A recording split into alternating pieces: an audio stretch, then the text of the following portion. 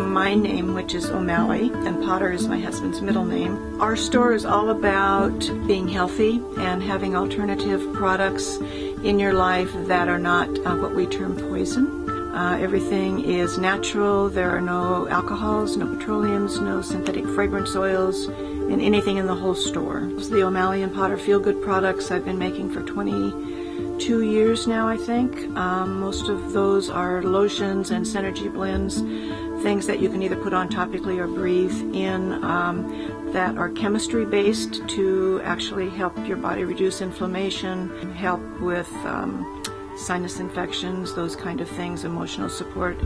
The uh, most everything that's in here is aromatherapy based, and that means that it's um, the chemistry of the essential oils actually go into the body system and um, help relieve symptoms. And in relieving symptoms, oftentimes you can gain um, your health back because you're reducing inflammation, you're getting rid of chronic sinus infections, those kinds of things.